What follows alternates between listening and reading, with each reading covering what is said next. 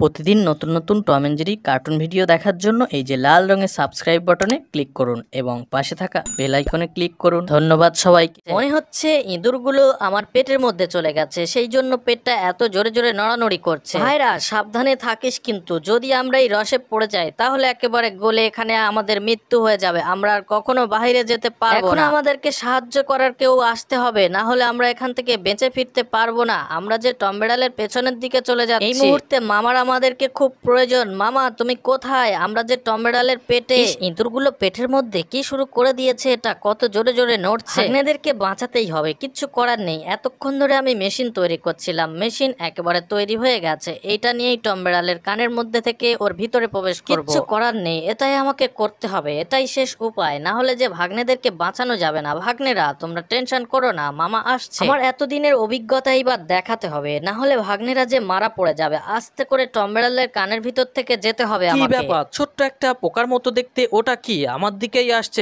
এই তুমি কে? আর এদিকে কি করতে আসছো? এ কি উড়ে চলে যাচ্ছে যে ওপরে। বিষয়টা কি হলো? আমার কাছে তাহলে ও আসতে চাইছে না। দেখাচ্ছি মজা দাঁড়াও। ও। ওকে একটা বেড়াল কোথাকার? ওটা তো তোমাকে চমক দেওয়ার জন্য। আসলে তো আমি এই দিকে এই যে তুমি এই দিকে দেখো এই যে টম বেড়াল মিস্টার। আমার ঘাড়ে আবার কে আঘাত করছে? কে আমাকে ডাকছে হ্যাঁ? এটা কি? এত বড় একটা হাত? ওরে বাবারে এ কি? গম্প ধরে টানছে কেন? আউ! আমার গম্প যে একেবারে ছিঁড়ে দিল এটা কি জিনিস রে বাবা? ছোট্ট একটা পোকার মতো দেখতে। ওরে বাবা রে কি? পোকাটা আমার গালের মধ্যে চলে গেল। ইস তাহলে তো পেটের মধ্যেও চলে যাবে সেই ওখানে। জানি আমার ভাগ্নিরা বিপদে রয়েছে। ওদেরকে বাঁচাতেই হবে। ওরা পাকস্থলীর মধ্যে রয়েছে। ওই রস যদি ওদের শরীরে লেগে যায় ওরা মারা যাবে। দেখ ছোট্ট একটা পোকার মতো একটা জিনিস আমাদের দিকেই আসছে। বুঝতে পেরেছি? নিশ্চয়ই ওর মধ্যে মামা রয়েছে। মামা আমাদের বাঁচানোর জন্য পৌঁছে গেছে এখানে। ভাগ্নেরা টেনশন করো না আমি পৌঁছে গেছি। চলে এসো। এই গাড়ির মধ্যে তোমরা চলে এসো। ছোট্ট একটা পোকার মতো। চলো ভিতরে চলে এসো। আমি বলেছিলাম না তোমাদেরকে বাঁচাতে তোমাদের মামা ঠিকই আসবে তোমাদের মামা কখনোই তোমাদেরকে ফেলে দেয় না। সত্যি তোমার জবাব নেই। পুরো জীবনের প্রাণ বাজি রেখে আমাদেরকে বাঁচাতে চলে এসছো। তোমাকে অনেক অনেক ধন্যবাদ। ঠিক আছে ঠিক আছে অনেক হয়েছে। চুপচাপ বসে থাকো।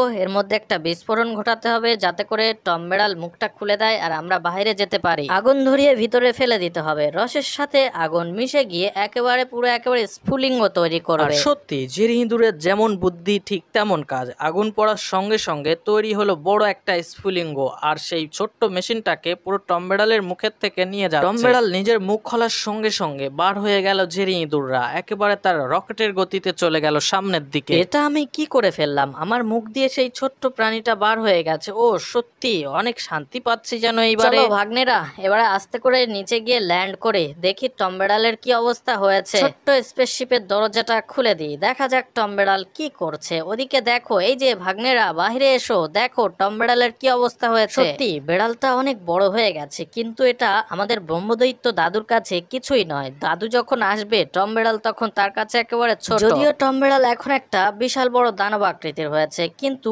এটা আর বেশিক্ষণ থাকবে না। ওর রিয়াকশন শেষ হয়ে গেলে ও একেবারে ছোট হয়ে যাবে। কিন্তু মামা আমাদের দাদু কখন আসবে? তুমি তো বলেছিলে খুব শীঘ্রই আসবে কিন্তু কখন? এই জঙ্গলেই আসার কথা ছিল। মামা তুমি তো বলেছিলে দাদু আসার সময় হয়ে গেছে কিন্তু এখনও পর্যন্ত আসছে না কেন? কি ব্যাপার? হঠাৎ করে জঙ্গলটা এত জোরে কেঁপে উঠল কেন? হায় হায় এ কি? জঙ্গলের মধ্যে যে কম্পন সৃষ্টি হয়েছে কি হচ্ছে কত বড় একটা দৈত্য ইঁদুর আসছে দেখো আমার দিকে আর কত বড় গম্ফ রয়েছে ওর সর্বনাশ। আমার থেকে তো এ যে তিন ডবল লম্বা আর কি বড় এত বড় ইঁদুর হয় নাকি? আমি আমার জীবনের প্রথমে এত বড় ইঁদুর দেখছি সর্বনাশ পালাই তাড়াতাড়ি। আরে বাবা আমাকে দেখে সত্যি বেড়াল তো অনেক ভয় পেয়েছে। আমি কি করব? আমার আকৃতি এমন রয়েছে তার আমি হলাম এই পৃথিবীর সব থেকে বড় একটা ইঁদুর। আমাকে দেখে সবাই ভয় করে। এমন কি দেখেছেন বেড়ালরাও ভয় পেল আমাকে দেখে। কি আর এটাই আমার ভাগ্য। সবাই আমাকে দেখে ভয় পায়। কিন্তু আমার যে ছোট ছোট নাতি নাতনি রয়েছে তারা কোথায়? আসার কথা ছিল যে কি ওরা দূর থেকে আমাকে লুকিয়ে লুকিয়ে দেখছে? দাঁড়াও একটা